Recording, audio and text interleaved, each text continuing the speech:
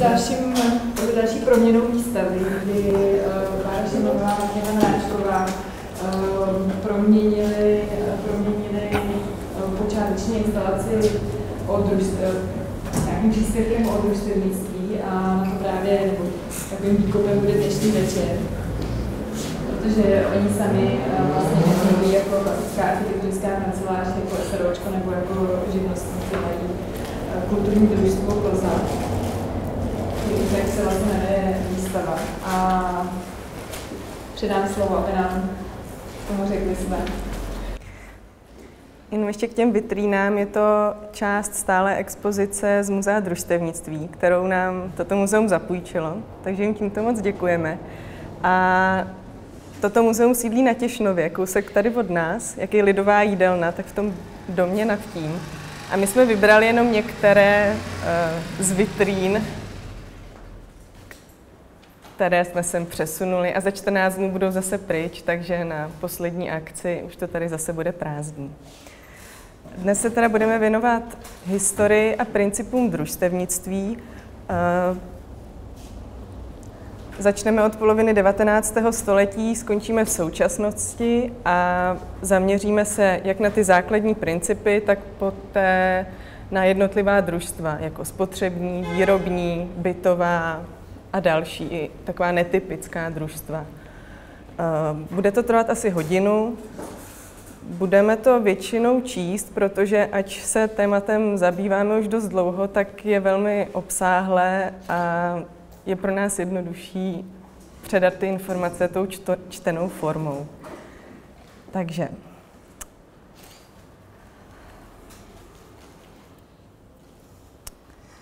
Uh, družstevnictví se rozvíjelo od poloviny 19. století jako nástroj k řešení hospodářských a sociálních problémů, které sebou přinesla průmyslová revoluce a nástup kapitalistického tržního hospodářství. Industrializace vedla k nahromadění kapitálu, uvolnění pracovní síly a technickému rozvoji. Jako reakci na problémy spojené s industrializací se pracující lidé začali združovat, aby byli schopni bránit se stoupající chudobě, a to vedlo ke vzniku prvních spolků a družstev. Tedy ta první družstva vznikala jako jakási záchranná síť pro sociálně nejslabší vrstvy. A toho družstevního hnutí byli nějaký předchůdci a inspirátoři, kteří se vlastně snažili najít nějak, nějaké alternativy k kapitalistickému uspořádání společnosti. A jeden z nich byl Robert Owen, který, který žil v 18. století a byl ředitel textilky ve skotské průmyslové zóně osadě, která se jmenovala New Lanark. A on, ač byl uh, vlastně ředitel, tak zaváděl a prosazoval reformy pro důstojnější život zaměstnanců. To znamená, že pro ně chtěl nějakou zdravotní péči pro ty dělníky, firemní prodejny, firemní školky a chtěl, aby měli omezenou pracovní dobu a nějak, uh, aby se i vzdělávali. A vlastně na začátku toho 19. století tenhle Robert Owen začíná pochybovat o tom, že současný ekonomický systém, založený na snaze vyrábět lacino a prodávat draze, je možné reformovat a přemýšlí, čím jej nahradit. A přichází na dvě řešení. Jedno z nich je budování vesniček spolupráce, jakýchsi drobných komunit, kde by si ti obyvatelé pěstovali vlastní potraviny a vyráběli oděvy a byli nezávislí na tom stávajícím systému. A druhý, druhé řešení navrhuje uh, nezávislost na peněžním systému, což uh, znamená vydávání vlastní měny a používání ke směně těch produktů mezi sebou. On, uh, kromě toho, že byl utopista, tak vlastně podnikal i praktické pokusy. Snažil se založit ve Spojených státech komunitu New Harmony. A to, to se ne, ne, ne, nepodařilo ale místo násilných revolucí vlastně propagoval jako drobný pozitivní alternativy, které byly založeny na rovnosti spolupráci a vzájemně, vzájemné směně toho zboží v místě.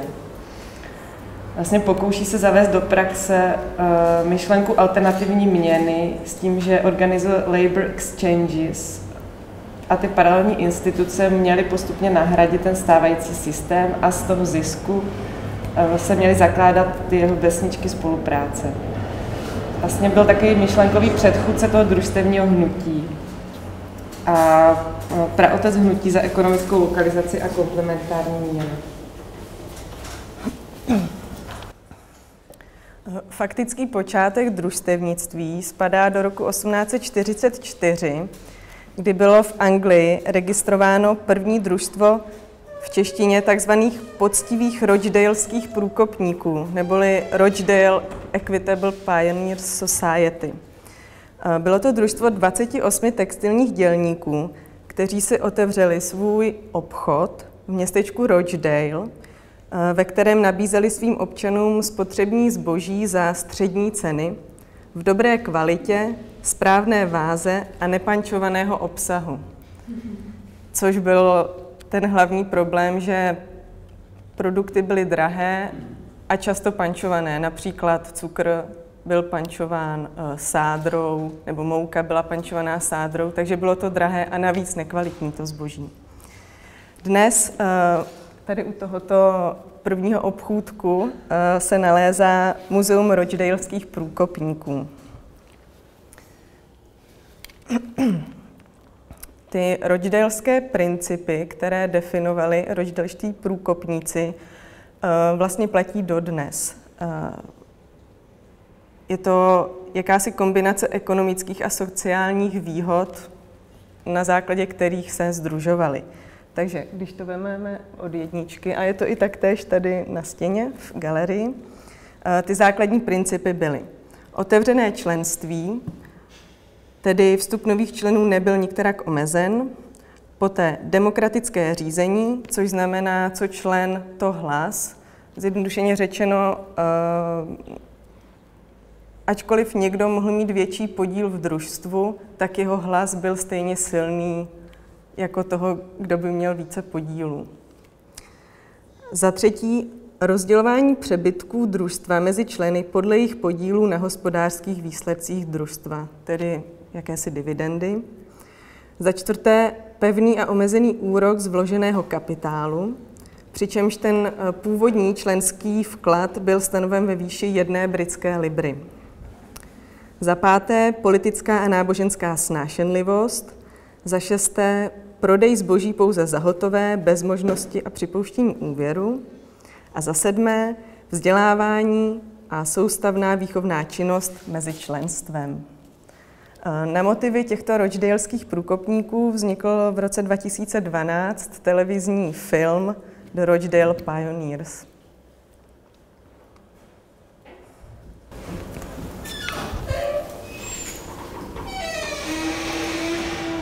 U nás ta situace byla podobná jako v sousedních zemích. Ten vznik družstevnictví souvisel s rozvojem průmyslu a tržního hospodářství v tom 19. století. Vlastně na obranu proti zvyšujícímu se ekonomickému tlaku a ve snaze si zlepšit svoji zoufalou situaci se dělníci ve městech a rolníci na venkově pokoušeli združovat do své pomocných spolků. Vznikají konzumní spolky, spotřební družstva, jako obrana proti lichvářství soukromých obchodníků. Naše první družstvo se nazývalo potravní, Pražský potravní a spořitelný spolek, bylo z roku 1847. A bylo to družstvo se smíšenou úvěrovou a obchodní činností.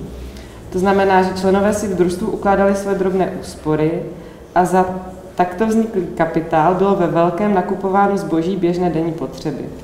To znamená, že nakupovali za nižší cenu, než kterou musela dělnická rodina platit u obchodníka a to družstvo to potom rozprodávalo svým členům.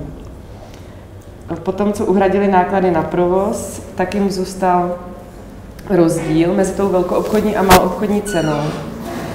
A ten zůstal vlastně členům toho družstva. A to družstvo tvořili převážně dělníci a drobní řemeslníci. Mm. Až do roku 1867 Eh, bylo jakékoliv spolčování vlastně fakticky pronásledováno, protože neexistovala legislativa, která by to dovolovala. Teprve v tom roce 1867 vznikl zákon, kde bylo dovoleno se spolčovat. A tudíž do tohoto roku bylo velmi problematické, mm, bylo složité, aby mohlo dojít k zakládání nových družstev. Eh, tedy vznikaly právě jenom tyto primitivní organizace jak bylo popsáno v tom potravním spolku, tedy potravní spolky, které ale zároveň jsou považovány za počátek toho družstevního hnutí u nás. Združovali se také i řemeslníci a živnostníci té jedné profese, aby společně vyráběli a sdíleli stroje a nástroje. Byly to například spolky tkalců, spolky truhlářů a tak dále. Takže už v tom roce 1846-47 vznikaly tyto první spolky. Tady pošleme nějaké knížky, které se týkají toho tématu. Tady jsou ti eh, vlastně průkopníci, myslitele k tomu družstevnímu hnutí. Tady je ta brožura o družstevnictví a teďka budeme mluvit o Kampelíkovi, tak ještě Kampelíkovi spise. A František Cyril Kampelík byl vlastně jeden z prvních družstevních myslitelů u nás. A byl průkopník a propagátor venkovských svépomocných úvěrových družstev. Vlastně se stal zakladatelem drobného lidového peněžnictví. Studoval filozofii a bohoslovecký seminář v Brně a medicínu ve Vídni. Věnoval se slovanským jazykům a prosazoval nový pravopis, prvky moravizmy, slovenským prvky a smoravizmy. A te, v tom svém díle řešil praktická ekonomická témata venkova pod vlivem industrializace. Inspiroval se vlastně vznikajícíma záložnama v Prusku, Vydal asi 30 spisů, většinou vlastním nákladem, protože mu to nikdo moc nechtěl vydávat. A v roku 1861 vydal návod, jak založit a provozovat úvěrní družstvo v podmínkách chudších venkovských obcí. Jmenovalo se to Spořitelny po farských kolaturách Orbě řemeslu ze Svízelu pomohou. Vlastně se v, tom, v tomto spisku se řeší problém neexistence finančních ústavů na podporu zemědělství, a Kampelík chce tento problém řešit z úspor rolníků bez velkých bank. Družstva měla fungovat lokálně, na jedné farnosti a k členství nebylo potřeba vkládat členské podíly, žádný kapitál a ručit měli vážení a movití občané této farnosti. Chtěl vlastně učit lid těmi spořitelnami šetřit a střádat i, i malé kapitály od, od všech čeledínů služek tovarišů, a obával se zároveň konzervativní zaujatosti prostého lidu. Na, na závěr toho svého spisu zdůrazně marnost odporu proti pokroku. Spis zůstal nepovšimnut za Kampelíkova života a Kampelíkova idea se neujala. Ale 20 let po jeho smrti začnou vznikat venkovská úvěrová družstva podle jeho modelu, která jsou inspirovaná německými družstvy Raiffeisen. Tu strukturu mají podobnou, jako navrhoval Kampelík, a liší se pouze v detailech. Ručí všichni členové, nejen ti bohatí, a ručí neomezeně. A tato družstva se ujala a roz, rozrostla se do tisíců a stala se vlastně páteří předválečného československého zemědělského družstevnictví. A dle Kampelíka se jmenují kampeličky.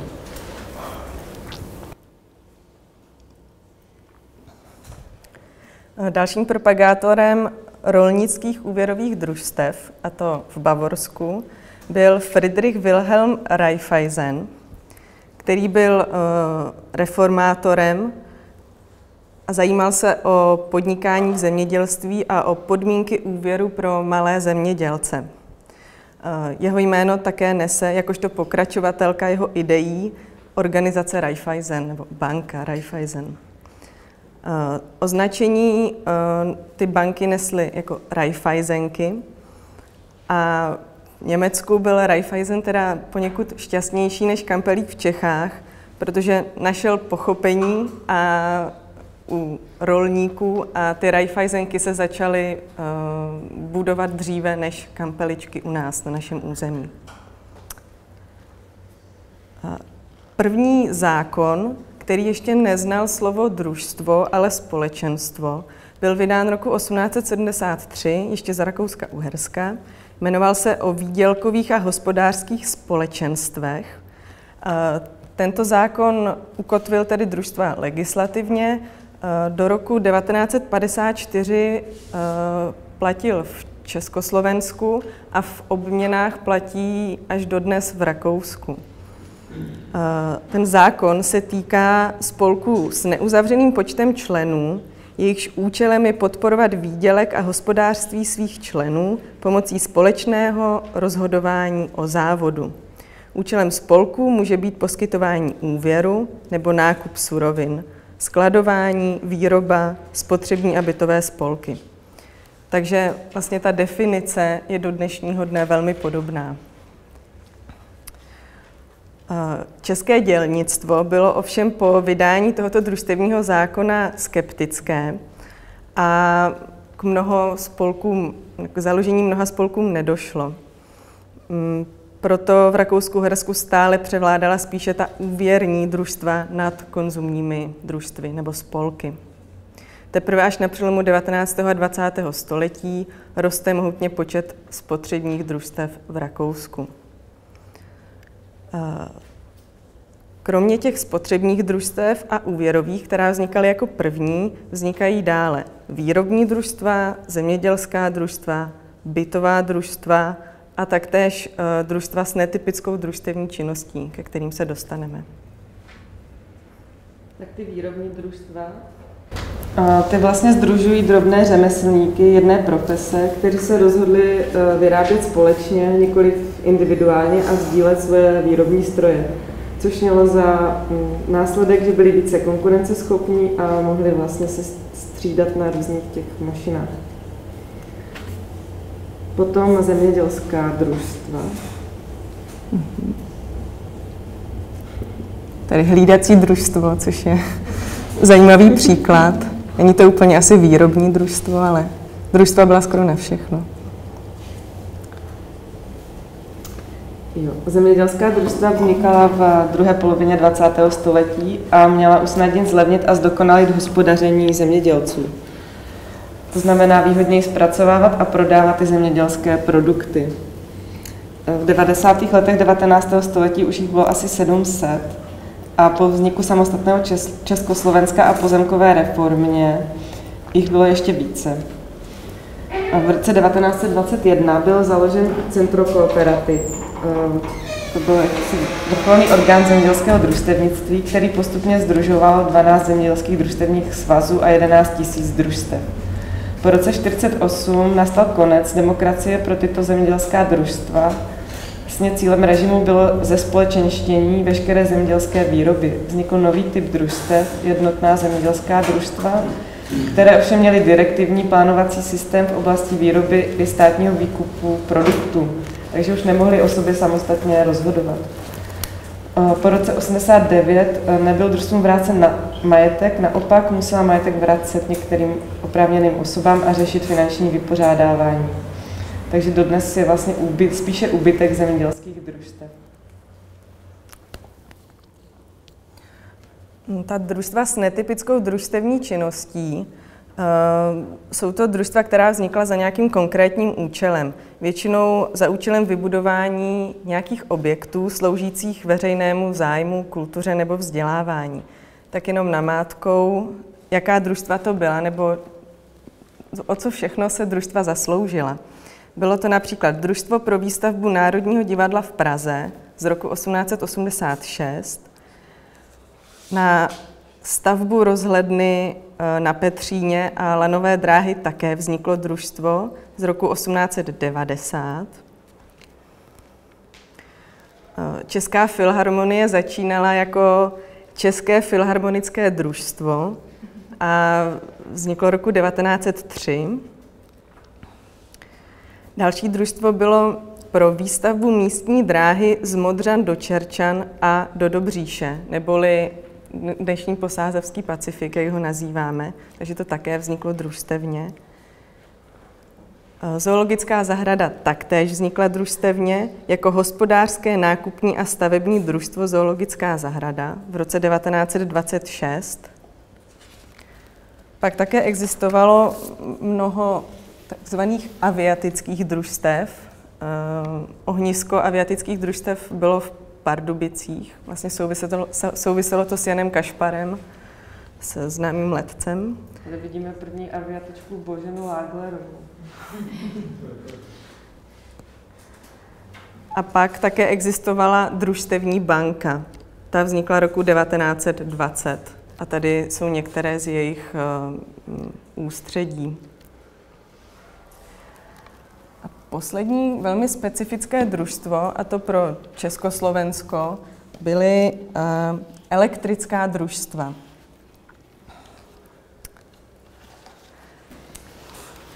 Přečteme vám něco, nebo úryvek eh, k těm elektrickým družstvům eh, z knihy Kde peníze jsou služebníkem, nikoli pánem, od eh, Nadí Johannisové, která vydala už mnoho publikací věnujících se nejenom družstevnictví, ale obecně těm alternativním um, ekonomikám a ona o tom družstevnictví ví opravdu hodně, takže ona by určitě byla erudovanější specialista na družstevnictví než my.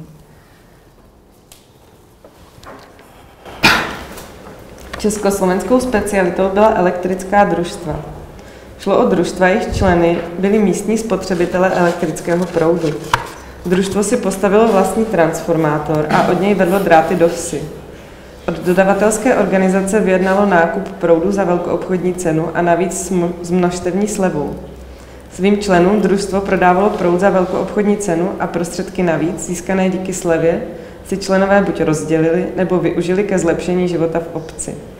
Elektrická družstva přispěla velkou měrou k tomu, že, roku de, že do roku 1938 bylo 10 tisíc obcí z celkového počtu 15 tisíc v tehdejším Československu připojeno na elektřinu.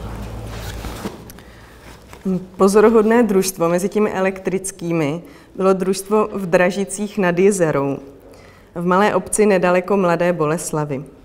Toto družstvo vlastnilo 8 elektráren a dodávalo elektřinu 29 městům a 460 vesnicím. Zároveň pro své členy zajišťovalo skladování zemědělských produktů a společný nákup zemědělských potřeb. Vlastnilo tři velké mlýny a řadu dalších zpracovatelských podniků. Tato obří organizace vznikla z velmi skromných počátků.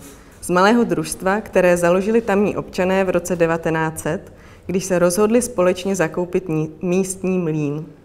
Dražice byly v Evropě dobře známé a každoročně navštěvovali stovky zahraničních návštěv. Dnes už teda Dražice vyrábí jenom ty ohřívače na teplou vodu. No, ne, po revoluci to rozdělili na víc firm a ty si nechali ty jednotlivé specifické činnosti, takže vlastně se to rozpadlo.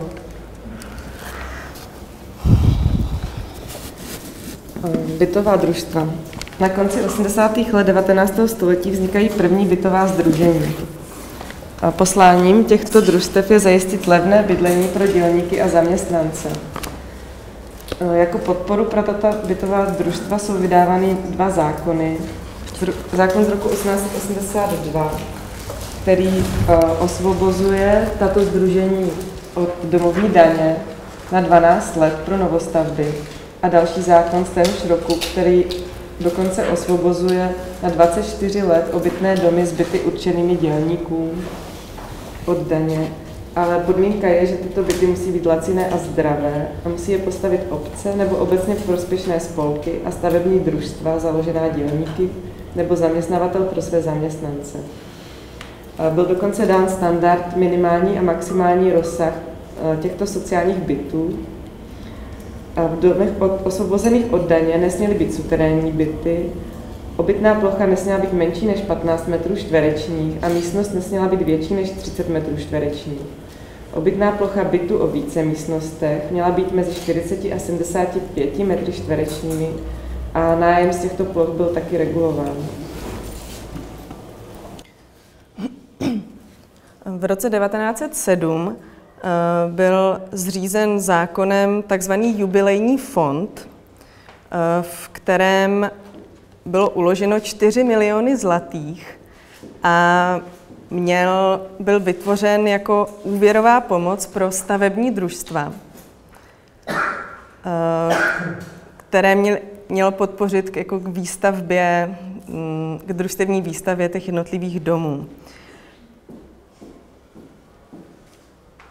V roce 1912 uh, už existovalo více než 300 stavebních a bytových družstev. družstev. Další série zákonů v letech 1919 až 1939 o podpoře stavebního ruchu uh, byla především pro podporu malých bytů a rodinných domků. Byla to podpora pro stavební a bytová družstva se státní zárukou uh, za druhořadou hypotékární zápůjčku. Tady vidíte obrázek. Mm, jsou to domy, které postavilo družstvo pro stavbu laciných a zdravých obydlí v Prostějově. Toto družstvo bylo založeno roku 1913 a koncem roku 1931 už mělo 125 členů a postavilo 8 činžovních domů s 84 byty. Eh, další bytové družstvo, eh, založené roku 1909, bylo například eh, družstvo zřízenců a dělníků železničních v Praze a postavilo zde v Praze 29 činžovních domů s počtem bytů 1006 a mělo 1150 členů, takže to bylo opravdu velké spolky. Hmm.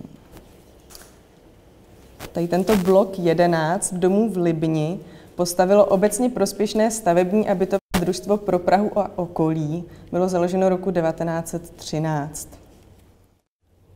A další namátkou stavební družstvo v Karlíně postavilo tuto tělocvičnu v družstevním domě na Žižkově číslo popisné 1703.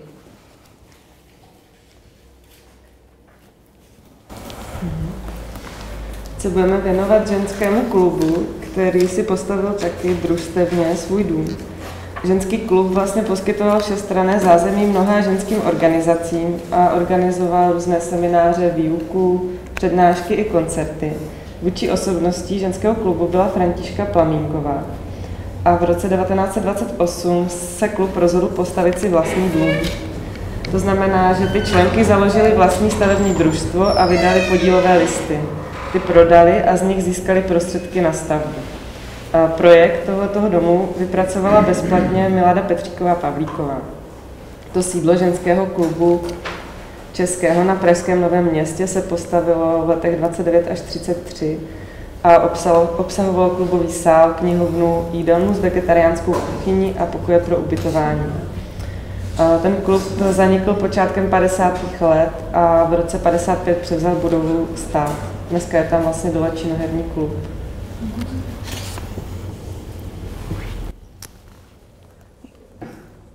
Krátká kapitola o instituci, která má zkrátku VDP, jmenuje se teda dnes Velkonákupní společnost družstev v Praze, ale vznikla už roku 1908. To se ještě jmenovala Dělnická nákupní a výrobní společnost. A Toto VDP bylo jakýmsi hlavním dodavatelem potravinářského a průmyslového zboží, zboží do družstevních prodejen. Ta hlavní činnost VDP byla zaměřena na nákup, prodej, zprostředkování prodeje a výrobu.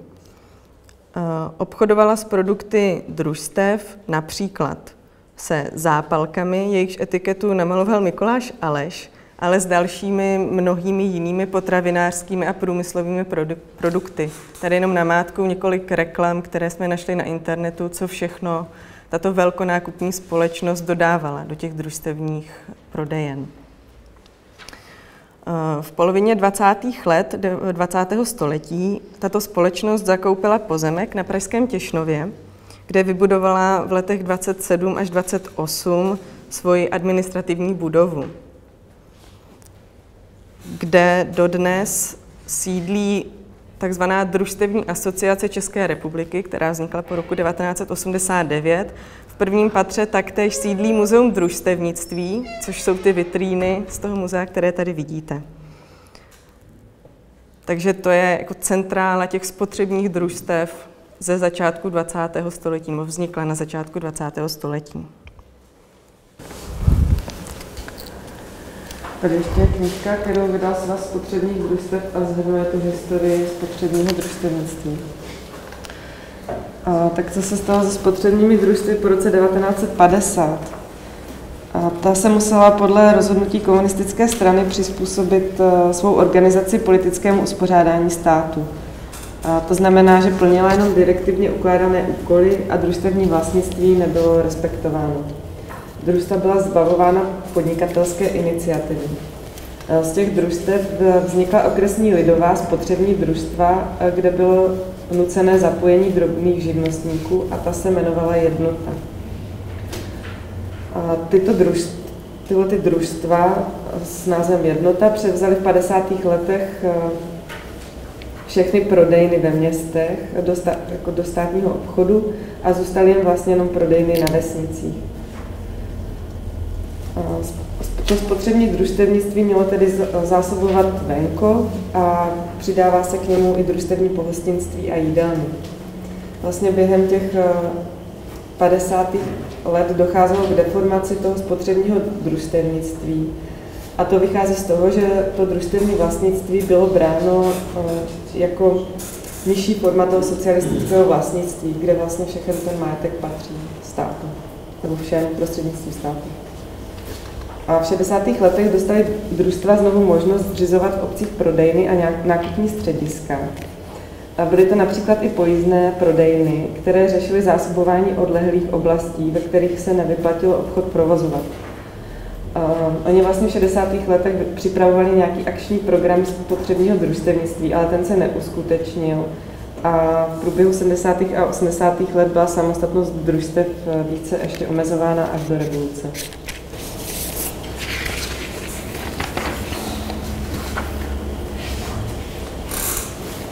Teď ve zkratce uh, něco o bytovém družstevnictví po válce. Uh, tady vidíte mapu, kde byly vymezeny obvody uh, v Praze, které byly určeny pro bytovou výstavbu v první dvouletce. Například pod tím číslem 5 vidíte sídliště Solidarita, které vzniklo jako obecně prospěšné stavební družstvo s názvem Solidarita již v roce 1945, takže ta Solidarita je jedním z prvních sídlišť, které se dokončily v Praze. Původní název tohoto družstva bylo Práci čest a pro své členy chtělo dobrý a zdravý byt za přiměřenou cenu. V letech 1949 až 50 proběhla reorganizace sítě bytových družstev, kdy se převedl eh, majetek těch družstev do majetku státu a vznikla tak, takzvaná okresní bytová družstva, neboli OBD. Později roku 1954 vznikla lidová bytová družstva, tedy LBD. A na konci těch 50. let došlo ke změně pohledu na družstevní výstavbu. Stát zjistil, že je nereálné, aby vyřešil bytovou krizi a hledal možnosti, jak zapojit zájemce o byt finančně i pracovně do výstavby. A tak začala vznikat první stavební bytová družstva občanů a pracovníků.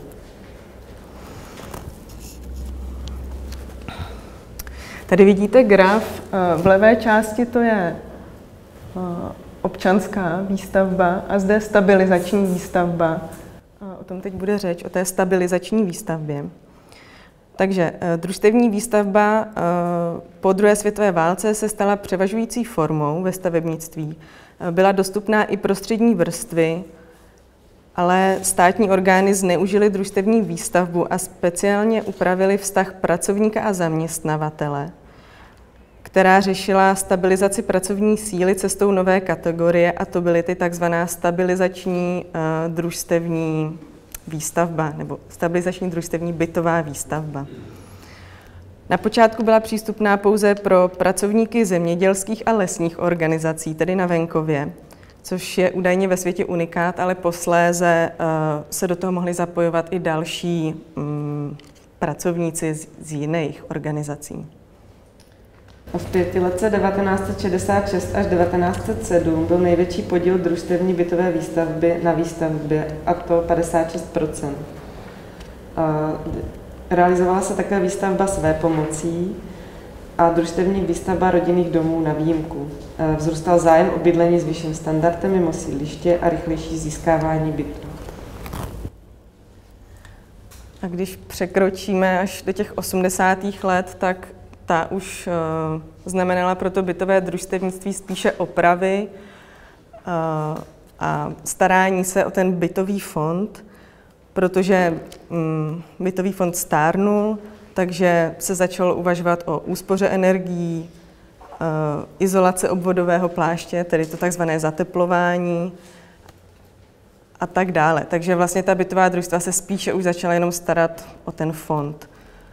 E, těsně před rokem 1989 existovalo v Československu 330 bytových družstev s milionem 200 tisíc členů a milionem bytů. Mhm, tady ještě taky jsou.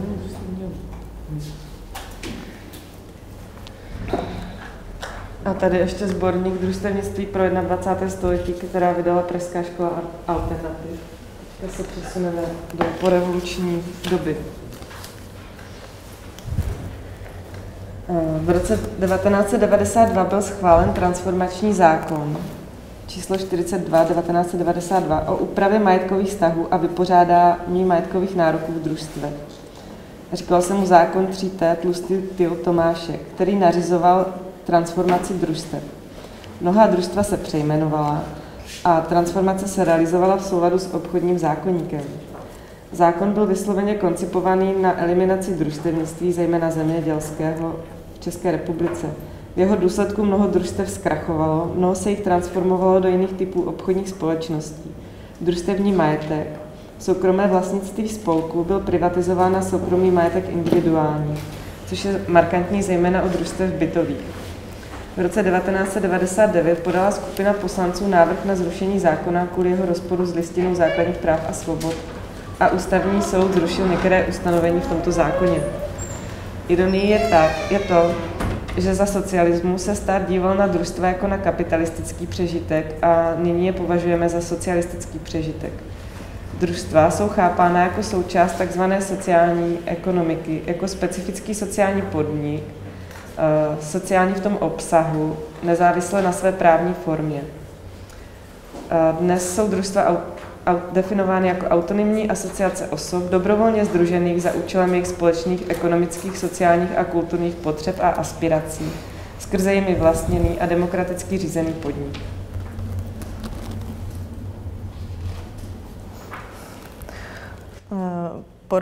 Po, rozdělení Československa eh, vznikla v roce 1993 Družstevní asociace České republiky, která sídlí právě tady na Těšnově. A ta v sobě uh, zaštiťuje ta družstva, která jsou členy svazu družstev, což ale podle toho, co jsme se dočetli, je přibližně třeba jenom desetina družstev v celé České republice. To znamená, jenom desetina funguje v rámci té družstevní asociace.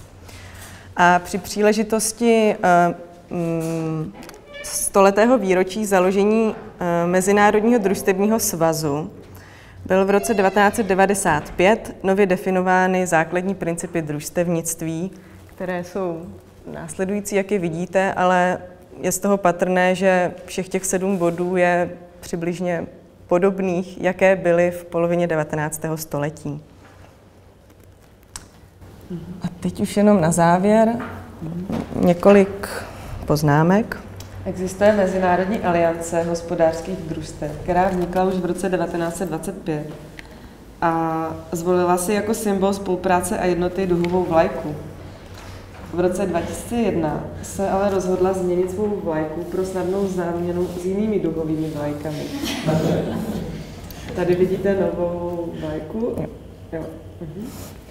V 80. a 90. letech 20. století se duhová vlajka etablovala jako všeobecně známý a přijímaný symbol pro LGBT hnutí. Další vlajky jsou, které by mohly být zavádějící. Vlajka židovské autonomní oblasti na jeho východě Ruska, poblíž čínských hranic. A tam vlastně tvoří taky tuto vlajku duhové pruhy na bílém podkladě. A poslední je vlajka Viphala, která reprezentuje hm, rodilé obyvatele Ant. Že těch duhových vlajek je opravdu hodně. My jsme vybrali jenom některé zajímavé. Když se zadáte do Wikipedie duhová vlajka, tak tam eh, toho najdete docela hodně. A teď úplně na závěr, eh, pro zajímavost, A je to právě v té oranžové knížce, kterou jsme posílali. Nadia Johannisová popisuje švédskou družstevní banku, která se jmenuje Jak Membles Bank. Je to teda družstevní banka, která je vlastněná svými družstevníky a umí půjčovat bezúročně. Má přes 20 tisíc středatelů a vklady v hodnotě zhruba 50 milionů eur. Jejím hlavním posláním je půjčování peněz bez úroku. Tedy klienti banky jsou zároveň družstevníky a ta banka je plně vlastněná svými členy. Řízení banky, tak jak jsme mluvili o těch družstevních principech, vychází z principů jeden člen rovná se jeden hlas. A teď eh, krátký popis, jak je možné půjčovat peníze bezúročně. Protože nás to zajímalo, jak to vlastně funguje, tak, tak eh, to dělají takhle. Za své úspory na místo úroku dostávají body, které jim umožní po minimálním spořícím období 6 měsíců požádat banku o tzv. základní půjčku. Její výše závisí na bodech, které jim banka přiznala. Ty závisí na množství peněz, které měly v bance uložené a na době, po kterou peníze v bance byly. Přesněji, výše naspořených bodů se rovná množství uspořených peněz vynásobené množství měsíců, po které úspory v bankovní kase spočívaly. Žádat o základní půjčku může každý, kdo absolvoval minimální spořící období a sám může rozhodnout, kolik peněz si půjčí a na jak dlouho. Samozřejmě pokud na to má body. Příklad. Pokud jste si během roku uspořili 20 tisíc, můžete si buď vypůjčit 20 tisíc a splatit je během nejbližšího roku, nebo si můžete vypůjčit 10 tisíc a splácet je dva roky. Zároveň si můžete také vybrat svých již naspořených 20 tisíc, kromě toho můžete v této fázi požádat i o dodatkovou půjčku, jejíž výše bude záviset jednak na vašich dosavadních bodech a jednak na aktuální situaci. Pokud má banka nadbytek vkladů a málo úvěrů, nabídne vám úvěr vyšší. V období, kdy podíl úvěru proti vkladům vzrostl, nabídne vám úvěr nižší. A pak také e, ještě existují takzvané etické banky, to jsou banka etika a podobně, to taky najdete na Wikipedii, e, které se snaží podporovat e, jako ne tak komerční projekty, nebo jakože můžete si půjčit peníze na nižší úvěr právě když půjčujete na mm, nějaké si kulturní nebo jakoby veřejně prospěšné uh, aktivity a podobně. Takže existují i banky ne přímo bez úvěru, uh, bez, bezúročné, ale i takové, které jsou takzvaně etické. Uh, děkujeme za pozornost. To je vše.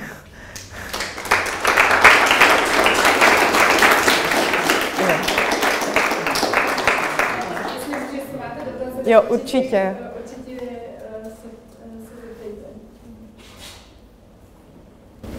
Možná, jestli ještě řeknete něco o vašem družstvu. Jo, jo. No, tak my jsme vlastně založili po delší době kulturní družstvo, řešili jsme eh, tu formu z toho důvodu, že eh, děláme aktivity, které jsou neziskové i ziskové, které se prolínají hodně a potřebovali jsme nějakou, najít nějakou právní formu, která by to zaštítila. A taky jsme mířili na, nějak, na nějaké sociální jistoty, takže má vlastně ten náš podnik vlastníme my jako dvě zaměstnankyně a náš třetí člen je náš právník. Který a... nepřišel, bohužel dnes. zároveň se zaměstnáváte, Ano, což uh, nám přišlo, že jako je, by mohla být fungující alternativa k tomu, jak všichni architekti teď pracují na švart systém a, a vlastně dělají práci, při které by měli být zaměstnaní v těch firmách. A přijde nám to, že tohle jde opakovat, tenhle systém malého družstva, i jako, že to může někdo další zopakovat, že to je vlastně funkční model, kde jsou nějaké jistoty, člověk si může, má nějaké jako sociální jistoty a nějakou stabilitu při té práci. A samozřejmě se nám líbily ty principy jako takový, jako ty družstevní a, a těch družstev v dnešní době moc nevzniká, takže když jsme našemu právníkovi říkali, že bychom rádi založili družstvo, tak on přišel s tím, nebo to okomentoval, proč chcete něco, co tady sto let nebylo. Takže naše stanovy vznikly díky tomu, že jsme skopírovali uh, stanovy zemědělského družstva a upravili jsme si to tak, jak jsme potřebovali, protože ani vlastně neexistují moc mustry, příklady, jak vytvořit stanovy jakému si kulturnímu družstvu, které myslíme si, že kulturní družstvo žádné jiné v Čechách není. Ale samozřejmě, že je spoustu jiných družstev, eh, které se združují za nějakým jako jiným cílem, jako kulturního charakteru. No. Je to primárně kvůli tomu, že je tam prostě možnost i toho zisku, že vlastně ta neziskovka ta... Jo. Jo, jo, jo. Jasně, to, to, to vzniklo tak, že my jsme původně si mysleli, že založíme spolek, neziskovku, jo, jak je tady napsáno.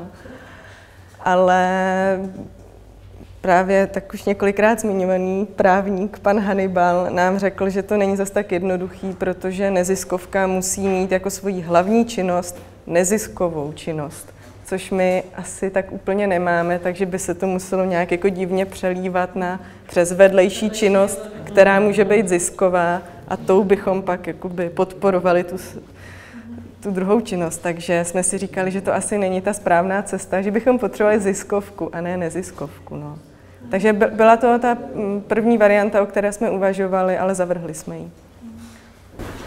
A ještě ten družstevní moment je nějaký jako um, nějakých projektech, tak plánujete třeba nějaký jako architekty, nějaký třeba družstevní bydlení nebo nějaké vzory, vzory, prostě, jestli vás tak láká vlastně jo, jo. I, i, tu formu překloubit do toho družstevnictví, co se dělá. To by nás jako lákalo hodně, ale za, asi za nějaký delší čas. Jako levná vlastně výstavba. Hmm. Družstev, nebo zase něco, aby to mělo smysl opakovat trochu, hmm. nebo aby to byl nějaký způsob, který může využít i někdo další. Hmm. A aktuální plán by byl, abychom vlastně mohli víc to družstvo nějak rozvíjet nebo rozjet, tak získat nějaký grant celoroční činnost. No. Nebo to nám přišlo, že by potom mohlo nastartovat nějaký jiný aktivity, než jsou jenom ty naše. Protože, že jo, tak... No, no, no. A kdy, je další no. problém, co řešíme, jak se vlastně rozšiřovat, protože takhle malým družstvu každý, kdo přijde, musí s námi jako být vlastně v dost přátelským vztahu. Jak jsme ukazovali na těch jiných družstvech, tak třeba když to byly ty netypické družstva, tak oni měli dost jasný cíl, že si dali za cíl postavit, nevím, rozhlednu na Petříně. Takže prostě bylo to jasně daný, na tohle to se spořili peníze, všichni vlastně jdou za tím cílem a když se to podařilo, tak pak se třeba o to starají a podobně. Ale my to máme trochu složitější v tom, že ten cíl není takovejhle jednoznačný, že se tohle to udělá a je to hotový. No. Proto je pro nás vlastně i složitější, nebo zatím nevíme, jak na to jako získávat ty nový družstevníky, protože nemáme ten jako jednoznačný cíl. No. Můžu se zeptat, já tady těm ekonomickým reformám moc nerozumím, tak eh, v čem se to třeba odlišuje oproti, kdybyste založili to, že někteří architekti mm-hmm. se združují do SROČ, mm-hmm. nebo kdyby eh, v pří, příkladu třeba nějaký developmentu nebo stavební mm-hmm. zase akciovky, tak eh, v čem, v čem je ten rozdíl nebo ta výhoda toho družstevnictví? No, asi základní rozdíl je v, právě v tom rozhodování, že v tom SROčku člověk může mít, když má ten větší podíl, tak i při tom rozhodovacím procesu má i jako ten jeho hlas větší podíl. Takže když já vlastním SRO, polovinu, tak vlastně t- ten můj hlas by měl váhu poloviny všech těch ostatních hlasů. Zatímco ten základní princip družstev je ten, že ačkoliv bych měla větší podíl v družstvu, tak můj hlas se rovná hlasu někomu, kdo vlastní setinu toho, co já. Takže jako v tomhle rozhodování je to jiný, ale jinak je to jako principiálně vlastně dost podobný. Jako ta právnická osoba, no, že taky vlastně, že se to řídí obchodním zákonníkem. Jako v tomhle by to bylo podobný jinak, krom toho rozhodování. Že tam vlastně ten podíl jako v tom SROčku dost, dost významný. No a jinak, no, jsou tam nějaký rozdíly ještě? Tak mělo by to dbát na všechny ty principy, jo. jako že člověk bude prostě sociálně vstřícný, vzdělávat se. Jo, jo. Je tam ta své pomocnost. By neměl být ten první cíl, i když jako by to ta věc by měla vydělávat.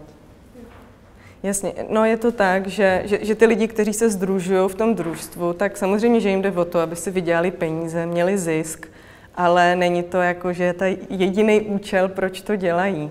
Protože zároveň je to tak, že ti zaměstnanci i to družstvo vlastní, takže to je takový, jako když si je člověk sám sobě zaměstnavatel a zaměstnancem, tak má trošku jiný, mm, no, jak to nazvat, jako, jako trošku jinak. Tak jak jste říkali, že No, no, zájem. vaše sociální jistoty, ale přitom vlastně vy si to družstvo a jeho stanovy tvoříte sami, takže vy si sami tvoříte nějaké Ano. Jo. jistoty.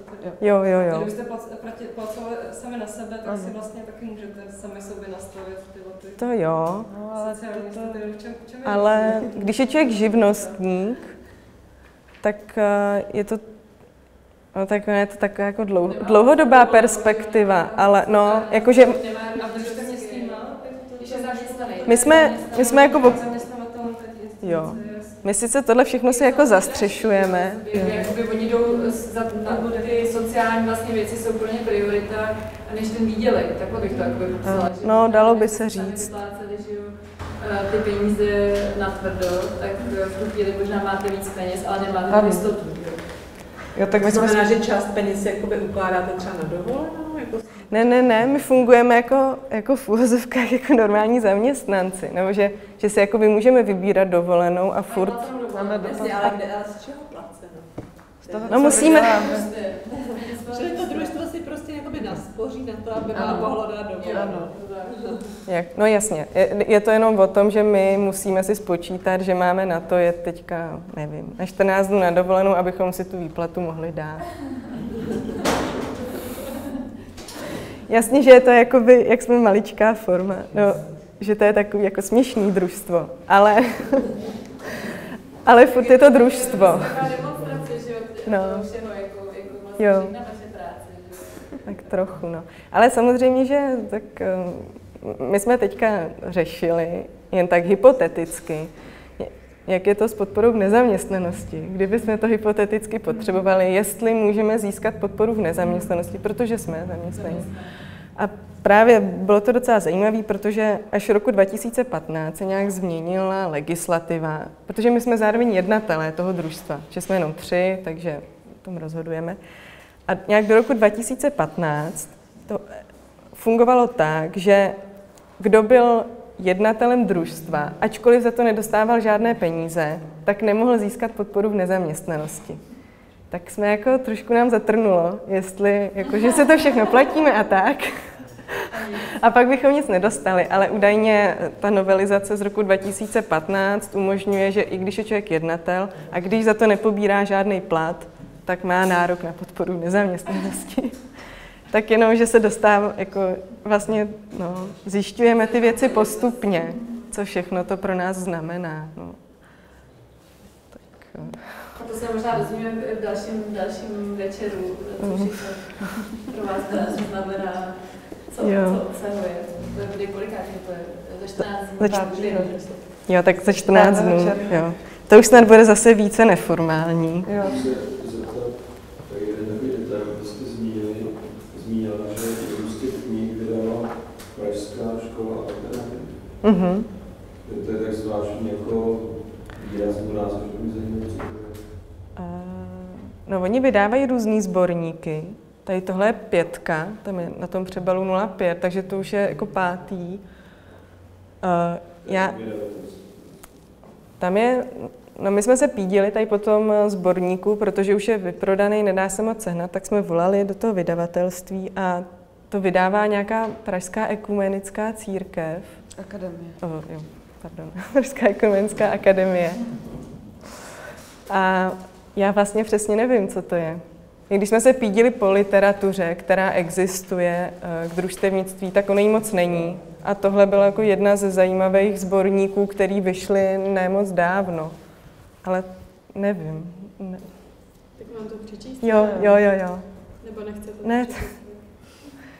Eh, Občanské združení Ekumenická akademie Praha je nevládní nezisková organizace, která je aktivní od roku 1995 a zaměřuje se na otázky sociální spravedlnosti, udržitelného rozvoje, vztahu církve a společnosti a ve významné míře otázkami vztahu severu a jihu. A tohle je volně ke stažení uh, na webu. Tady ten, to družstevnictví pro 21. století. No. Nějak, že ty, lido, ty lid- lidová bytová družstva, ty mají nějakou, nějaké jako svoje takové pohrobky, ne? Nebo že ty nějak pořád existují. Hmm. Zároveň, No. eh, třeba, já vím, že to je taková už trošku jako detailní otázka, ale jak to souvisí třeba s těma združeníma majitelů těch jednotek. Já, já si nejsem jistá, ale myslím, že povinně ty vlastníci se musí združovat ve združení těch vlastníků, Když těch vlastně bytových mají jednotek. vlastně společný, Ano. eh, vlastně společný prostory a společný eh, Mhm. majetky, tak, tak, tak, je, tak vlastně se jako soustředí, ale do SV je společný. No. Jo. A to jakoby už v základu porušuje vlastně ten první princip toho družstevnictví. Je to takový mix, který zůstal, ale jakože člověk nesmí být povinně v tom družstvu. To jakoby ne, to má být svobodný, to členství. jo. Takže jestliže jste po- povinně v nějakém družstvu, tak eh, to jakoby je družstvo, který nedodržuje tyhle ty principy a zůstalo mu tohle jméno z nějaké historie. To asi vzniklo díky té... To vzniklo díky té transformaci. Ano, Jo. to vzniklo díky té ty lidová transformaci. bytová družstva, že jo? Které jako pořád existují. Je tomu... Jako eh, družstva, ty SVčka, protože ty Mhm. SVčka má člověk vlastní tu svoji konkrétní bytovou jednotku. Mhm. Když má smyslu vlastní jenom Podíl. na tom domě Mhm. ve velikosti toho jeho bytu, ale nevlastní konkrétní byt. A všechno vlastně jakoby se schvaluje v rámci toho družstva, že jo, jakýkoliv pronajímání. Ale já, já Což, no, jako, no, což člověk, že jo, proto se to ani nemůže jmenovat družstvo, protože když člověk je v družstvu, tak nevlastní nic, to vlastní to družstvo a to taky ručí tím majetkem. To, jakoby ne, ne, to, to, jak se to privatizovalo vlastně pak po revolučně, tak je takový mix, který z toho zůstal teď tak tenhle. Hmm. Ale ty družstva vlastně jsou založený na tom, že vy jako jednotlivec nemáte nic, máte tam podíl, ale ten majetek je toho družstva. Takže ten byt by nebyl váš. Ten družstevník je jako nájemce. V podstatě- v podstatě je, pro, prostě je součástí toho, ale ale může prodat ten svůj podíl na tom družství. Jo, pardon. Jo. Družstvu. ano. Mhm. A To každý to družstvo má asi taky trochu jinak, no, já A nevím. Zrovna v těch Ale- bytových družstev je to jako... Protože ještě když jsme mluvili o tom SVčku a tom lidovém bytovém družstvu, tak když jsme dělali pasportizaci pro společenství vlastníků jednotek na Smíchově, tak když nám potom vlastně posílali peníze za tu naši práci, tak nám to posílá jakési lidové bytové družstvo. Takže já vlastně nevím, jaká je tam, jaký je tam To vztah. vlastně ty No, společné části toho domu. jo. Že oni jsou tam nějaký správcovské organizace, které si právě Který říkají to lidové, bytové družstvo. Tak ale, asi, no. Ale jestli to jako... A ještě- ono je třeba bytové družstvo pokoj. To je.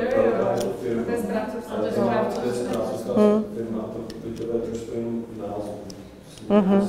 To žádný družstvo není. Ale- Není, firma, no, Taky nám přišlo zajímavé, že oni věřili, že po té revoluci jako nastane obrovský zmach toho družstevnictví, že to vlastně se rozjede hrozně moc, že bude spousta družstev, že to přijde těm lidem jako by no, správný a ono se to vůbec ne, nestalo vlastně. No, a myslíš, že se to jako vrací? Že se to opravdu jako vrací? Jako, že formu, ať jsou ty KPZky a tady tyhle ty Já myslím, že jo, i když komunitního zvědu, jak se to jmenuje, komunitní podpora zemědělce a, a já nevím, trhy. jako ty a- KPZky nejsou zrovna formou družstvo, ale vlastně by No, mohly je být, fungují vlastně tak, ano. družstva, jo, Tak jako fungují neformální. A jak Myslím, že jsou združení, Neziskovka? Není to nic. jako Spolek to možná. Spolek. Spolek asi. Neziskovka.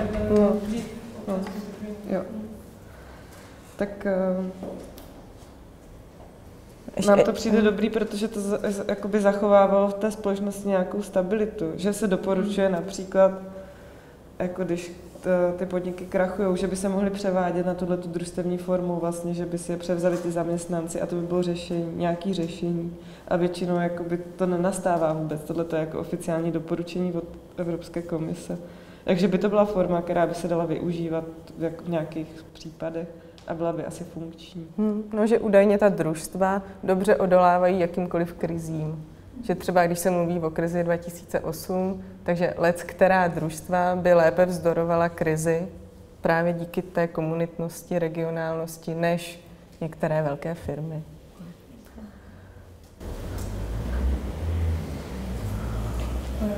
Vy jste se zmiňovali o tom, že byste chtěli dostat grant teďka na nějakou svou činnost. Je to uh, nějak omezované vůči právě spolku nebo dřív občanským združením?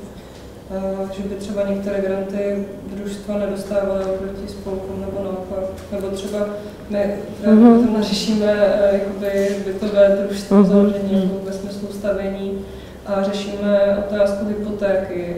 Mm-hmm. Zjišťujeme, že teďka nově, je to opravdu jako záležitost pár mm. měsíců v podstatě, mm-hmm. už některé banky na to trošku mm. jako reagují, mm-hmm. že by mohly půjčit nějakému no-name založenému družstvu mm. jako úvěr, ale do, do nedávno to bylo absolutně tabu, že, že to prostě nešlo. Jo, no tak... Zkrachovaly jako mnohé iniciativy Právně to jít má, ne?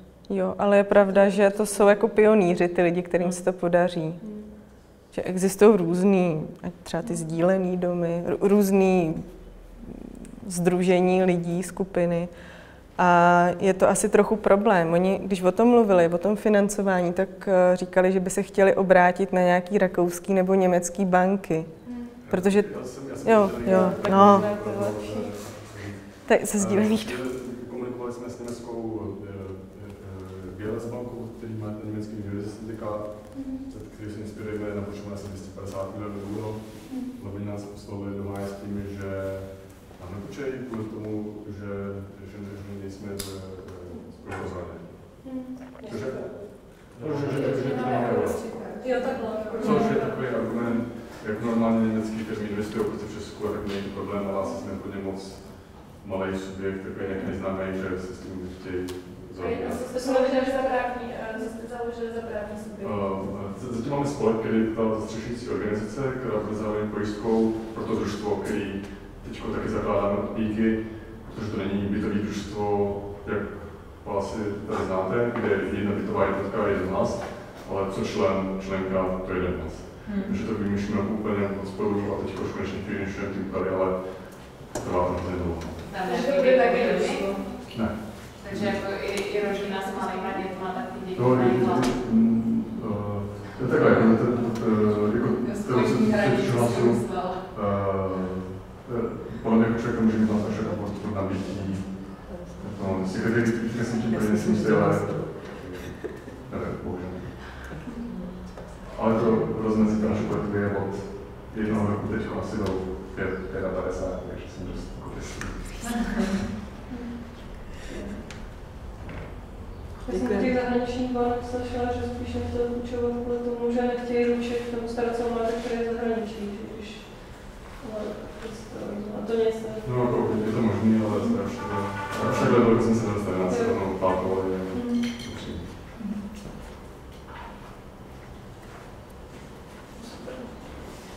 Děkuji. Tak děkuji.